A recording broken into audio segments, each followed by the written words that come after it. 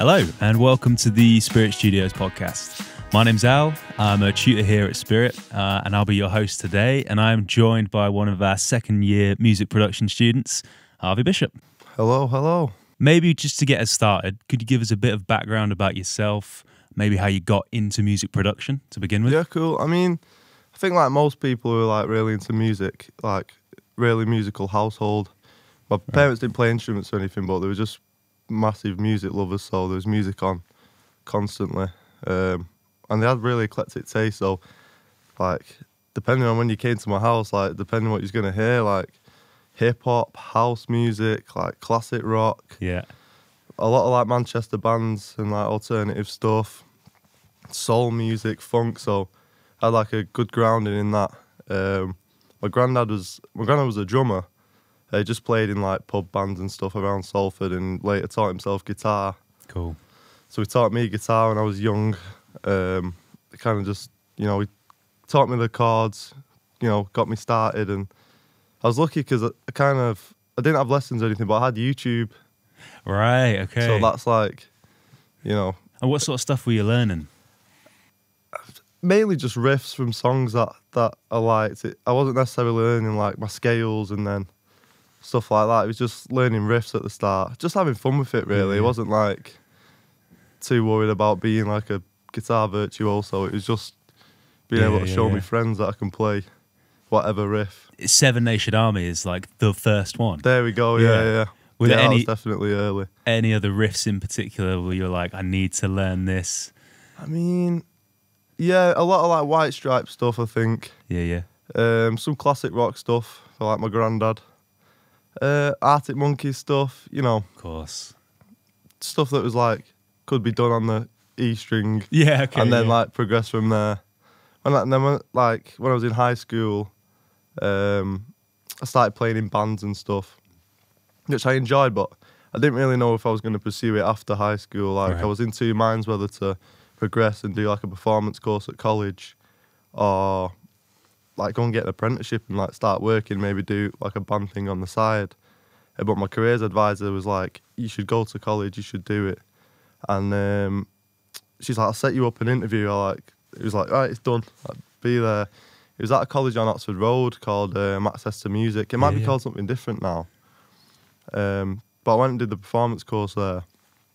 She's good, but I was, I don't know, I don't think I was fully committed. Like, I was like 17, 18, and I was kind of, you know, wanted to go out a lot. And but I thought I'd get my qualification, and um, I thought, you know, time to like find a job really. So I was working in construction for like two years.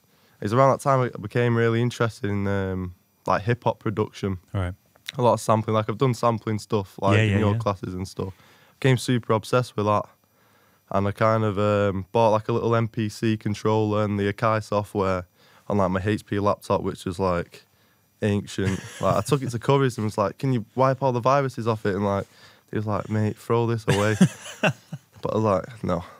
So I was just doing that in, in like kind of my free time, which I had very little of because like I was on site early and we was working late, and it was I was kind of like annoyed that I didn't really have time to delve deeper into it. hmm And um, it was about about the time I discovered sort of spirit and the the degree course through UCLan, Yeah. Yeah. and I was like, you know, I can always come back to to the work, and I think I should like give it a shot.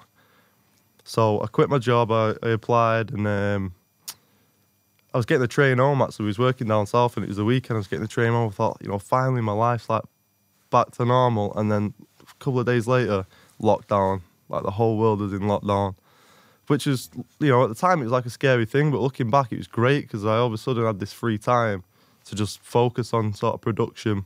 So were you using that extra time you found yourself with to to do that? Absolutely, like Yeah. through lockdown, it was like like a day job, like Right. like six hours a day, just learning. Like, because I was rubbish when I started.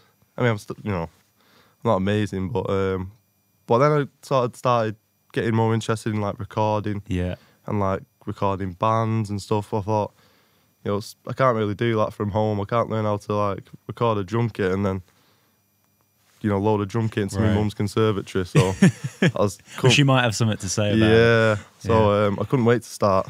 Nice. here, and uh, that's that's kind of how we got here. Yeah, because the stuff that um, I heard of yours um, sort of throughout first year, the the sample production and the beats you were making, they felt really tight, really well realized, and I kind of thought, okay, this is you know, it's the hip hop direction that.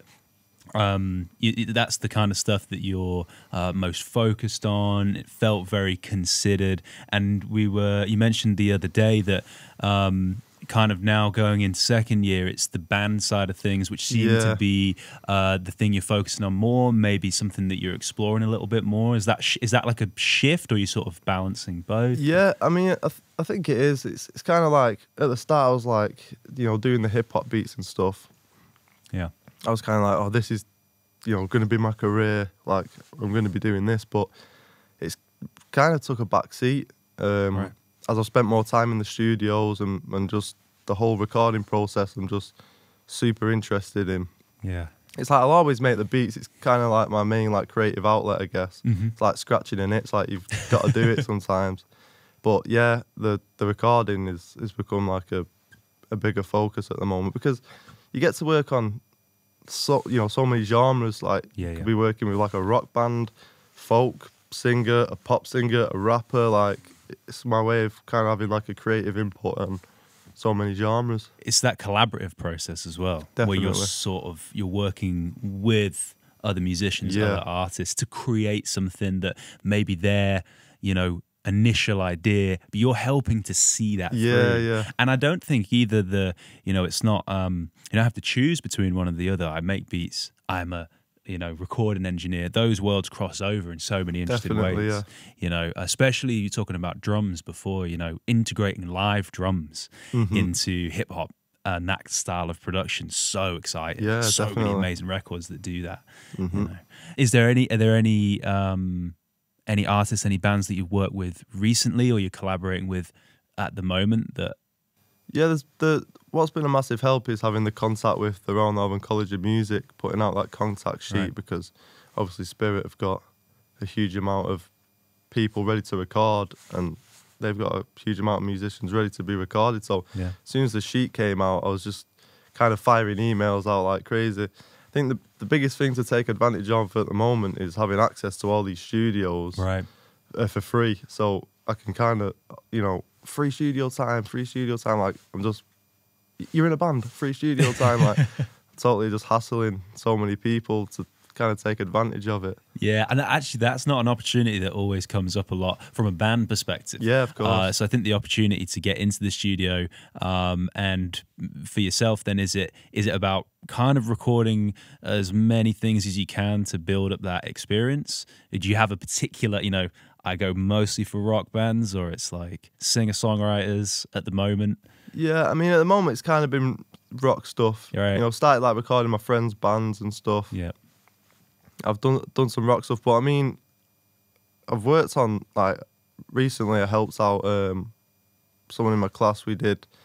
Uh, she was a folk singer, and she brought this piano player, and he he was like crazy. Like, you know, I was like, I don't even know how to mic up a piano, and like I had to do loads of research, and that was one of the funny sessions. So it's at the moment I'm just open to kind of doing anything I can get my hands on for That's the way to do experience. Yeah, definitely. put yourself in those positions where you think, well, I'm recording a piano tomorrow, so hmm got to figure out my stereo. Yeah, that's it. Yeah, Uh, did you record that in here? yeah, in we did it in the C24? C24. Yeah, Okay. that was kind of the first time I'd, I'd you know, really use this Yeah. space. Um, but it was great. Like I say, the session was so fun. Um, hopefully they're coming back to do some more stuff. Excellent. Hopefully we're not scared them off with our, how long it took to, to mic it up. No, you're being diligent. It's the details. That's it. The- and that's the other thing is things like that, like the speed of a of a session, Mhm. it is important. But at a certain point, it's just about working through, figuring out what works best. Yeah. And um, the the more sessions you do, the more pianos you record. In that example, Yeah, it'll just yeah, become more fluid. In the same way that now patching in the microphone's, you know. Easy enough. First time I tried doing that, I was like, okay, really got to work through this and you know figure out exactly where it's going and don't drop it. Yeah. Um, what did you go for in the end, uh, setup wise for that piano? So let me think. We had um, we had the AKG four five ones kind of close micing, Yeah, and we had the the four one fours uh, at the back of the piano. Cool. I read a Sound on Sound article about picking up the low end, and then in the room we had I can't remember what, what mics we had in the room, but we had a stereo configuration in the room, Nice. and it sounded really good. I mean, I'm biased because you know I recorded it, but That sounds like how I would approach it. they were well. happy with it. Yeah. So Have there been any particular um, modules or things that you've learned in sessions that you've found, you know, especially useful? I mean, a lot, a lot of it is kind of um, down to the tutors, you know, because all the tutors here, like, you know, in the in the industry still, so it's just kind of little little pieces of advice and stuff they can give that they wouldn't be able to if they weren't doing it themselves all the time. That is some of the most valuable stuff. Right. Um, and that, that that's applied to every module. But again, my recording module, you know, Mark is a full time um, engineer, Mm. producer, and just little things that, that he says, you know, in your session, do this, you know, because if you do that, this, you know, just like stuff running smooth, it's just things you wouldn't even think of. Yeah. But it's like, thank God he told me that. know. right. Yeah. It's a, it's a lot. It's a lot of that stuff. Have you found Spirit generally to be that kind of collaborative place? Has that opened up new opportunities for you? Yeah, definitely. I mean, just take it into a smaller context, so not just spirit, but just my class. Right. You know, there's there's so many um, musicians. Like it's so diverse in terms of like what music people like, um, instruments. You know, we've got drummers, guitarists, singers, rappers, uh, like beat makers. It's it's huge, and you know, you'd kind of be stupid not to take advantage of, of having all these people at your disposal disposal to kind of help you and learn from and, and work with. Yeah. It's like, uh, you know, when I got into the recording, like the, the first session we did was from a friend's band, which I was so nervous. Like I had, I had like someone from my class like come and help me. Having two of you like at the start is takes the pressure off so much. Like setting up time, problem solving, when you're trying to figure out why this DI is not working, but there's two of you to solve it. It's always phantom power. So yeah, and then flick the lift up or you're gonna get a lot of buzz. But um, but yeah, definitely, and just everyone kind of uses each other. It's like, oh, I need a guitarist for this. I need a drummer for this. I need a singer for this. So super collaborative. And then even you know I've collaborated with people outside of my course. Yeah. Um, it, it's like um, it feels like a family. You know, everyone's kind of here for the same reason, and kind of wanting to do the same thing. So super collaborative place. I think yeah, definitely. Great. That's good to hear. We'll wrap it up there, I think, Mhm. actually, then, Harvey. This has been it's been great catching up Been with you. fun. I've not seen you for a while. I know. Well, next year for major project, um, I, uh, for music production um, side of things, because it runs side by side with E EMP&P, electronic music. Yeah, so yeah, you, yeah. you kind of uh, simultaneously are doing the sort of same module, and it culminates in the in the final year show.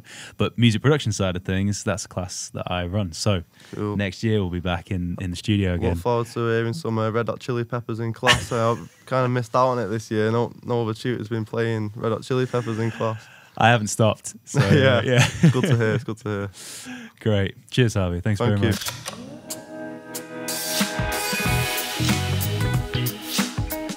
If you'd like to learn more about Spirit Studios or find any more information on the courses that we offer, then please visit us at our website at spiritstudios.ac.uk.